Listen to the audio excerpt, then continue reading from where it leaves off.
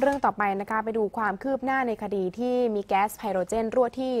ธนาคารไทยพาณิชย์สำนักงานใหญ่ครับถนนรัชดาพิเศษกนะคะ ซึ่งล่าสุดศาลอาญารัชดาอนุมัติหมายจับวิศวกรเพิ่มเติมอีกหนึ่งคน ในคดีระบบป้องกันอัคคีภัยอาคาร SCB Park ขัดข้องค่ะ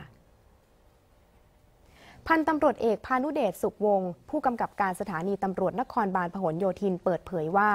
ศาลอาญารัชดาได้ออกหมายจับนายบุญเสริมกระจาด วิศวกรของบริษัท a b i t Multisystem จำกัด เพิ่มอีกหนึ่งคน ในข้อหากระทำการโดยประมาท เป็นเหตุให้ผู้อื่นได้รับบาดเจ็บและเสียชีวิต พร้อมประสานตัวมารับทราบข้อกล่าวหา แต่ยังไม่มีการประสานเข้ามามอบตัวหรือติดต่อเจ้าหน้าที่ตำรวจ